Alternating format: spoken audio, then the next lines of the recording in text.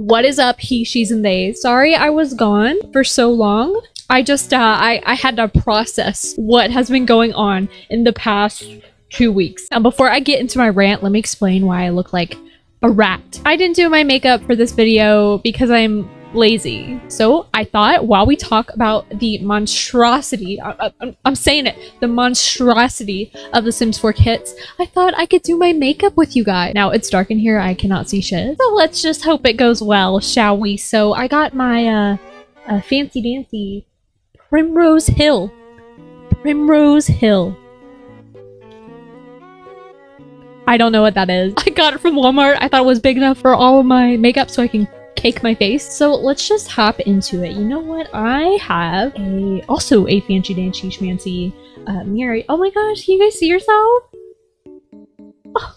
So for all you simmers who wear makeup, I'm going to start with CoverGirl Outlast All Day Foundation, which is absolutely crusty. Okay, I haven't replaced this foundation in about a year, and it's so empty, I literally have to since I have been gone or not gone, but I haven't posted a video for about uh, a week and a half, um, I posted a, uh, my first ever community tab, which also 100 subscribers, I'm going to be doing a giveaway soon. Literally all I can say is thank you so much. Like I had no freaking idea, but anyways, but I posted on the community tab what you guys wanted to see from me for my next video. And I got a comment saying um, that this person would like to hear how I feel about The Sims 4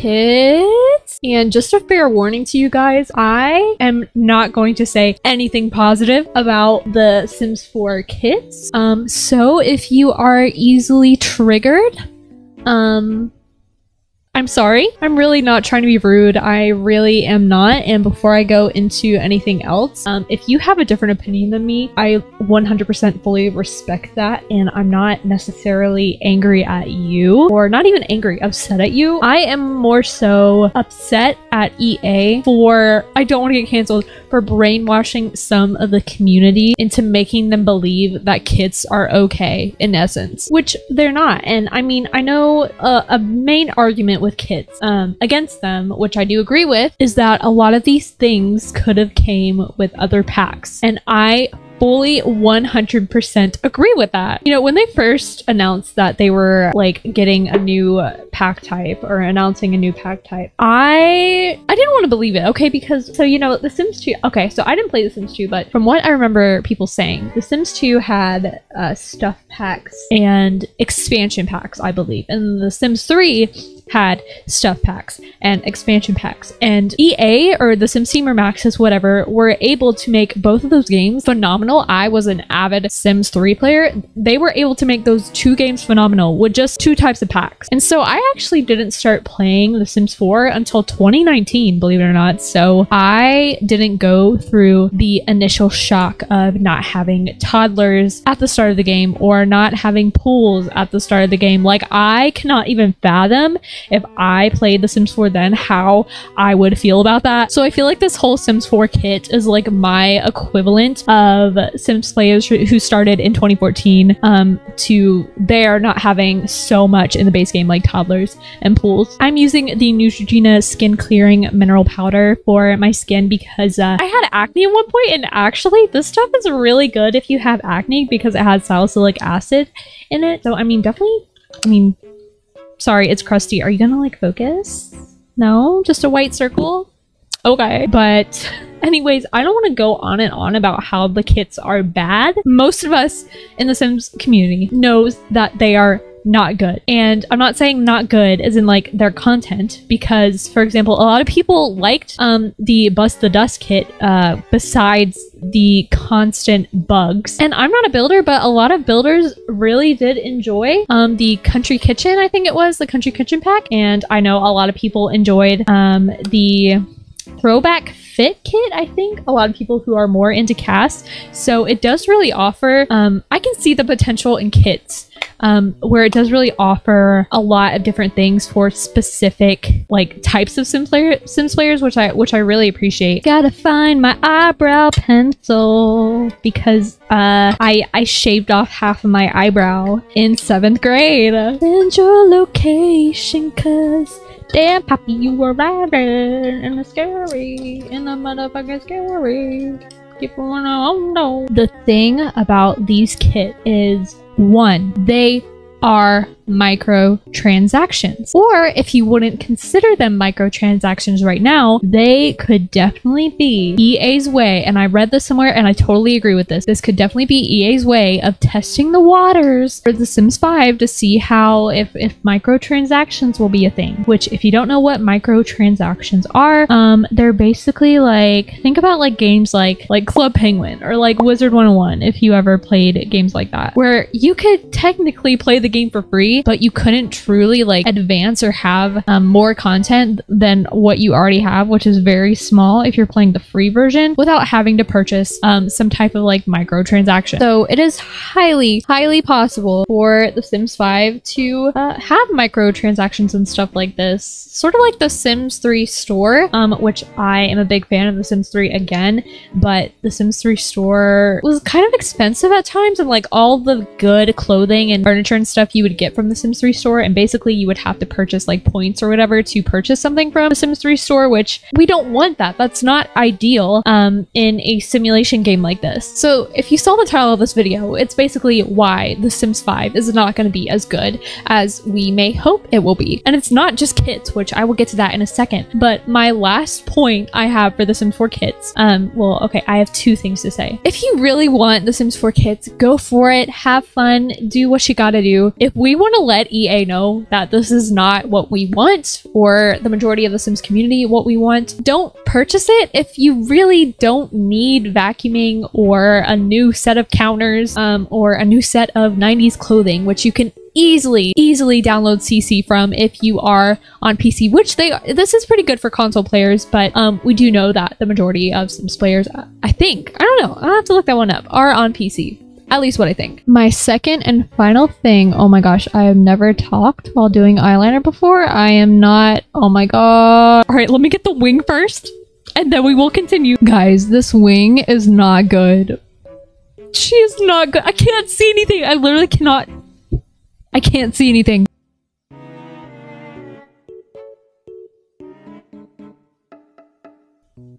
How do they look?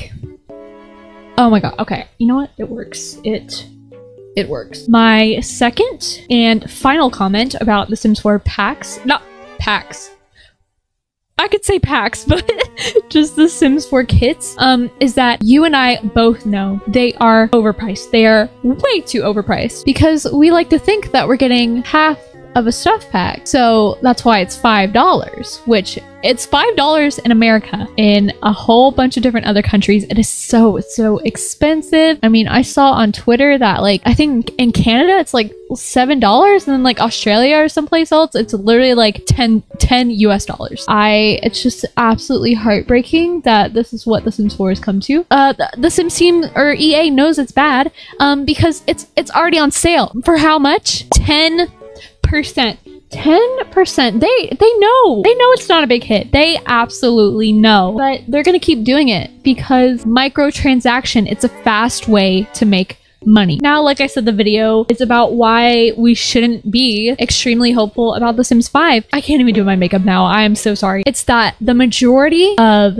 The Sims 4 players who grew up with previous Sims games are being put on the literal back burner. And new Sims 4 players are the top priority right now, which I love like having new players in a game that I love too. I have more people to talk about it. Of course, I would love new people to join the community, but the majority of the community does not need or desire gameplay because they didn't know what past Sims games were like, which were full and rich with gameplay. They just don't know, and that's okay. That's that's not their fault. They're just playing a game that they saw and they were like, "Oh my gosh, I'm gonna buy this game. It looks cool," and they're having a blast, and that's okay. But I feel like EA can do both. They can balance what the new players want and the old, more experienced players want that have played previous games. But no, they are neglecting such a huge part of their fan base. And so many people, I've seen it on Twitter, I've seen it on YouTube, I've seen it everywhere, are considering giving up The Sims 4 or not purchasing The Sims 5 once it arrives because The Sims 4 is too far gone. I'm not going to use a bronzer today because my bronzer actually broke and it was a really good bronzer. It was like Wet and Wild, literally like $3 from the dollar store. But I am going to be using this Maybelline Fit Me blush right here in the color, in a color. It's pink. It's red. I don't know. It's a color. I can't find it. I can't find what the name is. But that is one reason that we shouldn't be, or at least veteran players who have played previous Sims games shouldn't be extremely hopeful about The Sims 5 and what it will have to offer just because we are noticing that EA is okay, I can't let me like we are noticing that EA is prioritizing the newer players um, who think The Sims 4 is all fine and dandy. And the newer players bring in the most revenue for um, The Sims 4 because most of them purchase all the packs, which is okay. Um, but if we if we talk about packs like Journey to Batuu, which I I honestly wanted to cry. Like uh Journey to Batuu that that came out when I started my YouTube channel just about. I made a build video about it um just because I, I was new and I was like, "Oh, well everybody's making these new pack videos. I'll do one too." But in reality, I wanted to cry. I was not happy with that because I knew I knew that EA and Maxis could do better. We know they can do better. We've seen it. We've seen it. Another reason why we should not be too hopeful about The Sims 5. And I hate to be pessimist, I really do, but a lot of people really, really are excited about it, even old, older Sims players. But I'm trying to like, I don't know, I'm just seeing it for what it is. I, I'm taking, I'm basing my opinions on what I have seen from The Sims 4 for the past, what, like seven years? Let's talk about the laundry list that just came out from The Sims team over on Twitter. So if you don't know what the new laundry list is, um, basically The Sims team came out with kind of like a brand new way to um, connect with players and kind of get their feedback on bugs and stuff like that. And it's just them kind of telling us what they're doing and what they're fixing right now and just keeping us up to date with the game's progress and stuff. It is a good thing. That's a very good thing. And I'm glad they did it. But why seven years later? Why did it take seven years of constant complaining, constant bugs to get this? I still can't play Dine Out. I still cannot play Dine Out. My food takes too long. Okay. I literally had in one of my current households, I had a sim just walk over to my sim's table and just grab their drink and start drinking it. Like like my sims did not pay for that. I'm using this Milani ah, I'm using this Milani highlighter. Um I love it so much. As you can tell, I use drugstore because it's honestly the best. Like also if my Y'all, I know my makeup is not popping right now. I know. but anyways, the reason that uh, I bring this up is because if it took this long for EA to finally listen to us, which they haven't fully listened to us, we are still wanting so much more um, that we haven't got. And you know what? I don't think we ever, ever will get some of these things. Like, why did it take so much? Why did it take so much pressure to get bunk beds that could have easily came with tiny living or even like eco lifestyle. Just like how throwback throwback fit kit could have came with uh, fitness stuff. Bust the dust with eco lifestyle. If it took EA this long to listen to us, imagine how long it's going to take when The Sims 5 rolls around and most of its player base is newer Sims players who have not experienced older games and the, the greatness that they were. In my opinion, it is very, very unlikely they will ever listen to us again because they know that people purchase their packs, whatever it is, just because it's the brand new pack, it's the brand new thing on the market, they want something new, they want something shiny. Obviously, because The Sims 4 lacks gameplay, so they're gonna want the newest thing right when it like start, like right when it debuts. So this is why I am a huge advocate for Paralives because straight from the beginning, they were incredibly transparent with us. Um, and they do like dev chats and like stuff on their Patreon. They have a Discord, like an official Discord and stuff. And I honestly don't mind if I'm overhyping Paralives because The Sims 4 is a monopoly and it doesn't deserve to be a monopoly and it needs competition. And the Sims team or EA needs to recognize that there are competitors and we're not we're not going to continue to play The Sims 4 if they don't listen to us. That's why I'm a big proponent of not buying the newest expansion pack until you fully understand what it's about, what it has, gameplay, stuff like that. I'm a big proponent, okay? I waited for so long um, to buy Snowy Escape because I just...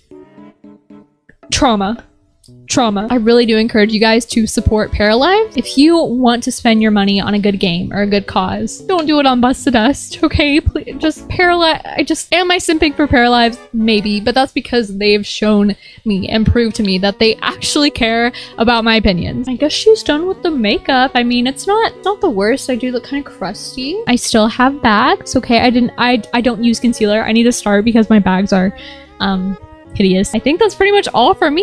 If you have anything you want to say, if you disagree with me, like tell me in the comments. Tell me why you disagree with me. Like I really want to know what other people's opinions are about this because I know on Twitter it's more the opinions are more leaned towards not being happy with EA or the Sims team and I I don't really know a lot of people who are truly happy with the game and its progress and where it's headed. So if you are, please let me know because I am 100% willing to at least like see other perspectives. I just I I love to see the good in things and it's really tiring for um, EA to be doing this constantly um, not listening because I, I I know I feel and many other Sims players feel 100% neglected. But if you enjoyed the video, don't forget to leave it a like. Let me know if you like the makeup videos, because I do, because then I can film other videos after this. As always, don't forget to subscribe for more videos on the channel. My name is Ali. I do um, mainly gameplay tips uh, and some commentary videos as well about The Sims 4 and maybe Paralives here and there. All right, I will catch you guys later.